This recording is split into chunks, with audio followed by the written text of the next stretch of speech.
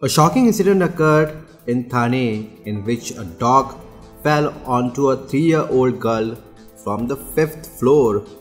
The girl succumbed to injuries. The entire incident was captured on CCTV camera.